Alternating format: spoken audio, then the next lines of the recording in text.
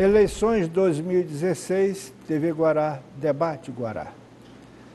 Este último bloco ficou destinado às considerações finais e aos direitos de resposta. Foram três pedidos de resposta. Primeiro, o candidato Rose Salles requereu, sentindo-se ofendida porque o candidato Fábio Câmara mencionou de forma genérica que os candidatos estão falseando a verdade. Não havendo menção expressa a candidato, não se justifica o pedido e ele foi indeferido. Segundo pedido, pedido por Fábio Câmara, requereu o direito de resposta afirmando que seu áudio foi cortado durante a resposta do candidato Eduardo Brade. Não, foi, não, foi, não se trata de corte, mas de um defeito técnico que será recuperado e recomposto logo. Se, se de tempo nas considerações finais será acrescido de 10 segundos como compensação. Terceiro, terceiro pedido de resposta foi feito pelo candidato Hélio do Curso, porque no terceiro bloco, o candidato Fábio Câmara chamou o candidato Hélio de mentiroso. O fato, efetivamente, existiu, embora o candidato Fábio Câmara não tenha utilizado a expressão mentiroso, mas sim disse que teria faltado com a verdade. A menção feita desse modo é ofensiva e, por isso, o candidato de direito tem a resposta concedida. Você tem 12 minutos para o seu direito de resposta, candidato Elton do curso. Por favor. A cada dia que passa, as relações sociais ficam mais difíceis. As pessoas não se olham nos olhos, as pessoas não se cumprimentam e as pessoas não se respeitam. É algo que precisamos cultuar na nossa sociedade. Na noite de hoje eu fui chamado de mentiroso por eu ter declarado em uma outra emissora de TV o estudo de viabilidade de onde implantar o VLT. Eu não falei que ia colocar o VLT na litorânea, mas recebi a menção de mentiroso. Mas eu não guardo ódio no meu coração. Na noite de hoje eu fui atacado pelos meus adversários e tenho sido atacado nessa eleição. Mas eu quero aproveitar esse tempo de dia de resposta para apresentar solução para os problemas. E na noite de hoje, podendo aproveitar o tempo para tratar de questões importantes para a sociedade, muitos não fizeram isso. E um tema que poderia ter sido abordado sobre segurança pública.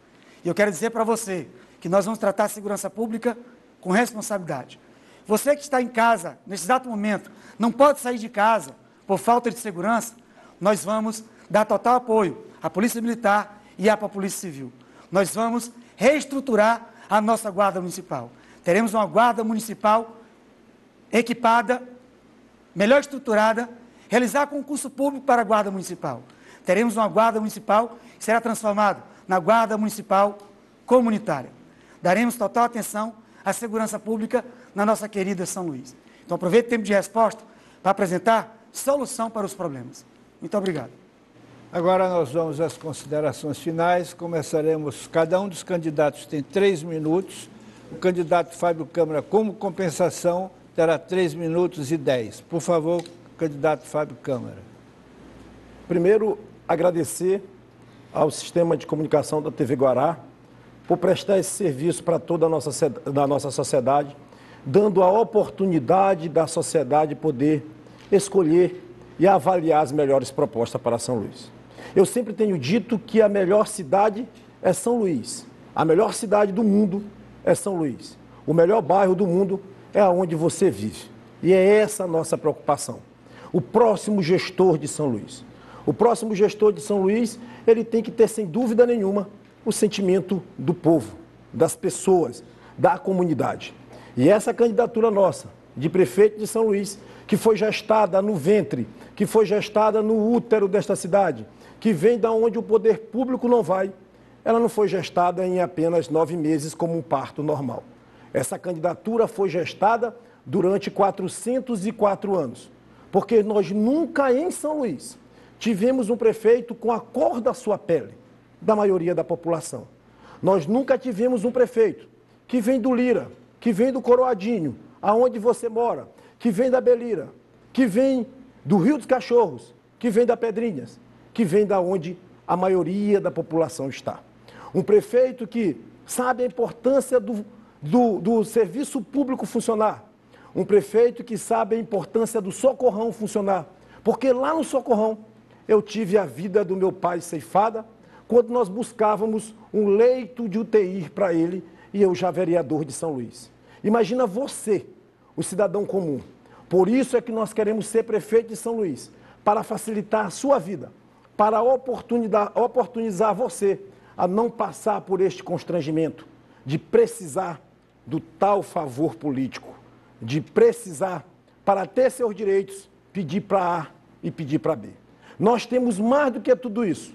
Nós, nós somos acusados de não termos a experiência no que se refere à administração pública. É falsear a verdade, porque nós administramos, enquanto gestor municipal, a saúde de São Luís e foi o melhor momento da saúde. Mas nós também temos, sem dúvida nenhuma, o que nós vamos administrar, o sentimento de cada um de você, o sentimento do povo da nossa cidade tão carente, esse povo tão sofrível, que não tem hoje mais o direito de ir e vir. O que nós propomos, enquanto prefeito de São Luís, sem reinventar a roda, sem mágica, é cuidar das pessoas, porque nada nessa cidade é mais importante do que você. O nosso maior patrimônio, não esquecendo do nosso patrimônio histórico, não esquecendo das nossas praias, não esquecendo da nossa cultura tão sofrível, não esquecendo de nada deste patrimônio, mas o grande patrimônio e o grande desafio para o nosso povo de São Luís, para o gestor de São Luís, é dar o direito a você de ir e de vir, entender que a cidade de São Luís é sua, é uma extensão da sua casa. É isso é que nós nos propomos. É isso é que nós iremos buscar essa solução. Mas não somente o Fábio Câmara sozinho, junto com você, através dos conselhos, ouvindo o povo, porque nós somos a locomotiva e quem vai imprimir a direção é você. Candidata, agora é, é, Elisiane Gama, só tem direito às suas considerações finais. Três minutos, por favor. Gente, eu quero dizer para vocês que a minha vida, ela é igual a muitos de vocês. Eu tenho uma vida de muita superação. Durante muito tempo eu andei de ônibus e conheço perfeitamente o que é andar em um ônibus lotado. Eu sei perfeitamente o que é passar uma noite inteira numa fila para tentar alcançar e buscar uma vaga na nossa rede pública de saúde. Eu sei perfeitamente o que é estudar em escola pública, porque durante toda a minha vida eu estudei em escola pública. Hoje eu estou aqui como jornalista formada pela Universidade Federal do Maranhão, depois de sair da cidade de Araguanã, onde mais de 80% da população da minha cidade vivia abaixo da linha de pobreza, me tornei deputada federal a deputada federal mais votada da última eleição. E eu também fui escolhida entre os deputados federais, os 513 deputados federais, entre uma das deputadas federais mais atuantes do Brasil, mesmo sendo uma das deputadas que menos gastou recurso do dinheiro público em Brasília. Hoje eu estou aqui como candidata a prefeita de São Luís, porque eu quero usar toda a minha experiência de vida e o meu preparo que eu busquei, porque há quatro anos atrás, quando eu decidi me candidatar a prefeita de São Luís, eu tomei uma decisão: ouvir a minha cidade, me qualificar ouvindo técnicos e viajando pelo Brasil afora, ouvindo Jaime Lerner, que integra a nossa equipe aqui em São Luís, ouvindo Cristóvão Buarque e tantos outros, para trazer para São Luís as melhores alternativas e adaptar para mudar a nossa realidade. Hoje eu estou aqui diante de você, humildemente, para pedir o seu voto para a prefeita de São Luís. E eu quero me comprometer com cada um de vocês, especialmente com você que é jovem, que sonha com o um emprego nesses momentos de crise no Brasil. Eu quero dizer para você que durante os quatro anos do meu governo, todos os dias eu vou trabalhar de forma incansável para garantir o seu emprego, para garantir a sua renda, para garantir uma educação de qualidade, uma saúde de qualidade. E nós vamos fazer isso buscando alternativas, buscando dentro do orçamento da minha cidade, mas bu buscando alternativas no governo federal, no governo do estado, buscando bancos aqui e fora do Brasil para fazer a promoção da mudança de verdade que a nossa cidade precisa. Acreditem, eu acredito numa São Luís melhor. e eu vou trabalhar para isso. Nós nos preparamos para isso, para fazer com que você de fato tenha orgulho para onde você for de dizer eu sou de São Luís do Maranhão. Eu acredito numa cidade melhor. Meu nome é Elisiane e o meu número é 23. Eu espero contar com o seu voto no dia 2 de outubro. Que Deus abençoe a todos vocês. Muito obrigada à TV Guará e a todos os colegas candidatos que participaram conosco. Muito obrigado, candidata. Candidata Rose Salles, agora as suas considerações finais. Repito, três minutos. É, eu com o Partido da Mulher Brasileira, fomos vítimas de uma artimanha política. Cortaram o nosso tempo de TV e o fundo partidário.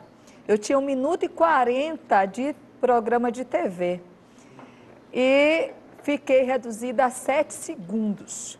Eu quero dizer que a nossa aliança é com você, cidadão.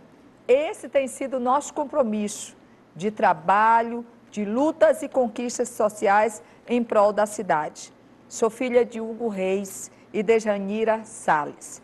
Aprendi que precisamos ter dignidade, precisamos ser pessoas de palavra, de ter compromisso e amor ao próximo. E isso tem me movimentado, me diferenciado. Não entrei na política para me dar bem. Nasci, me criei e continuo morando lá no Cruzeiro do Anil. E sendo eleita prefeita por você, continuarei morando no mesmo local para ser prefeita da cidade, para trabalhar por todos os bairros, por todos os segmentos deixados de lado, em total vulnerabilidade e risco social. Quero poder dizer que não estou em busca de status nem de poder. Quero poder trabalhar. E eu quero que você dê realmente esse crédito de confiança para eu trabalhar em prol da cidade com a nossa equipe técnica, com o compromisso que temos para com a cidade de São Luís. Estabeleceremos a prioridade orçamentária sobre todas as políticas públicas essenciais, como a educação, como a saúde, a segurança, a infraestrutura. E dentro disso, iremos buscar fazer o plano municipal né, de gestão integrada dos resíduos sólidos para garantir uma cidade limpa e fazer a revisão dessa PPP, da parceria público-privada, que é um golpe sobre o povo. É, iremos buscar também fortalecer a garantia do direito ao abastecimento d'água, ao esgotamento sanitário, buscando fazer a revisão da parceria com a CAEMA. Iremos nesse processo também tal qual reconstruir a feira do Cruzeiro do Anil, eu quero dizer que nós iremos buscar reformar as feiras, mercados e revitalização das feiras livres num plano arrojado de quatro anos. Nesse sentido, iremos realmente também fazer a consolidação de políticas públicas importantes, como para a juventude, para a negritude, para a pessoa com deficiência, para os idosos. E investir na geração de emprego e renda, porque eu não quero ver o meu povo dependente de programas sociais. Quero poder que todos tenham empoderamento financeiro e dignidade com suas famílias. Investirei no turismo e na cultura, fortalecer nossa identidade sociocultural valorizando e restaurando nossos postais e valorizando os nossos artistas locais. Iremos trabalhar valorizando a prata da casa, a academia. Vote 35, Rose Salles, prefeito, e São Luís vai ganhar. Candidata, muito obrigado. Candidato Elton do curso, o senhor tem três minutos, suas considerações finais, por favor. Quero dedicar a finalização desse programa a você, servidor público, principalmente os profissionais da educação, os professores, os profissionais da saúde, o nosso empenho, a nossa dedicação. Mas eu quero dizer para você que está nos assistindo, do quanto foi difícil chegar até aqui. Você que está em casa não tem noção do quanto foi difícil chegar até aqui. Quando eu volto me olhar para o passado, e que meu pai me abandonou, eu tinha sete meses de nascido.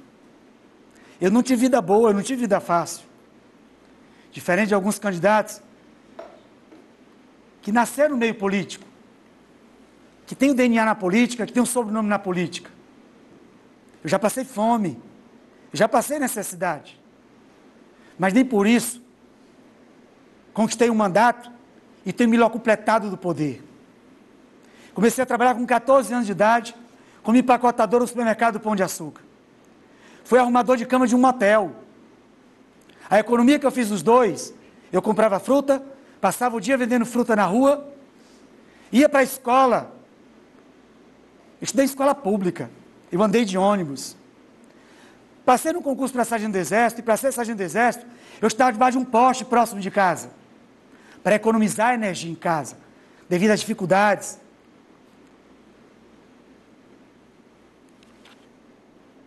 Ao longo dos últimos 20 anos, os olhos de São Luís são testemunho do trabalho que temos realizado, ajudando as pessoas a mudar de vida, a passar num concurso público. E você pode me perguntar, por que, que o professor Wellington, por que, que o deputado Wellington quer ser prefeito de São Luís? Eu quero transformar São Luís. Eu quero dedicar a minha energia, quero dedicar o meu trabalho para resgatar o brilho, o valor de São Luís. E eu quero dizer para você que está nos assistindo, que nós somos candidatos, não de grupo, mas do povo. Eu sou seu candidato. Renovar a sua esperança, não para ser um exemplo, para mostrar que sou melhor do que você, mas para mostrar que é possível. Que você possa dizer para o seu filho que através da educação ele pode mudar de vida. Eu fui resgatado pela educação. E a educação será prioridade no nosso governo. Na noite de hoje, eu tenho a oportunidade de abrir o meu coração para você. Não me vitimizando, não querendo me aparecer, mas me despindo das minhas vaidades, para mostrar que eu sou igual a você. São Luís terá um prefeito que estudou escola pública, um prefeito que é igual a você, e um prefeito que tem essas impressões. Infelizmente. Muito obrigado, que Deus abençoe a todos. Candidato Eduardo Braide, o senhor tem três minutos, por favor. Meus amigos, eu quero primeiro agradecer à TV Guará pela forma democrática como convidou o maior número de candidatos para participarem deste debate. Quero agradecer a você que nos assiste também e que até agora nos acompanha neste debate tão importante. Nessas eleições, nós temos, de um lado, um candidato à reeleição que foge de todos os debates para não ter que discutir a responsabilidade de sua administração, que usa a propaganda eleitoral para mostrar a você uma cidade que não existe e que não deixa a oportunidade nem de ser perguntado sobre essa situação. De outro lado, um candidato que, através da propaganda, diz em todas as suas propagandas que já está no segundo turno e que é o único candidato que tem condições de vencer o prefeito. Isso é arrogância, é desrespeitar o seu voto, é não aguardar o resultado das eleições. Eu quero lembrar aos candidatos desavisados que quem decide a eleição é você, eleitor, com seu voto. E eu quero dizer a você que ao longo do período da campanha eu ouvi muito já dizer a injustiça que é os candidatos não terem o mesmo tempo de televisão. Você sabe que eu tenho pouco tempo de televisão. Mas hoje você viu quanto é importante um debate onde sai da propaganda eleitoral e você conhece a realidade de cada candidato. Essa injustiça de eu ter pouco tempo de televisão você pode corrigir. Sabe como? Você pode me levar para o segundo turno das eleições. No segundo turno, eu terei o mesmo tempo do outro candidato. E eu terei a oportunidade de mostrar a você o meu programa de governo. Eu nunca tive câncer, mas todos os anos ajudo o Hospital do Câncer de forma concreta, destinando equipamentos. Eu tenho três lindos filhos, nenhum é excepcional ou é uma pessoa com deficiência, mas eu ajudo a pai de São Luís. Eu vejo candidatos que sofreram muito na vida e na hora que tiveram a oportunidade de fazer alguma coisa, porque tiveram essa lição da vida, não fizeram. Não destinaram um recurso para melhorar a sua vida não aprovar uma lei que viesse a melhorar a sua vida. Eu quero dizer a você que o bom candidato é aquele que tem Deus no coração, é aquele que tem humildade, é aquele também que tem experiência para fazer as coisas. Nós já tivemos a oportunidade de eleger um prefeito que não tinha experiência administrativa e que por isso só trabalhou no último ano da eleição, porque passou os três anos com a desculpa que ia organizar a casa.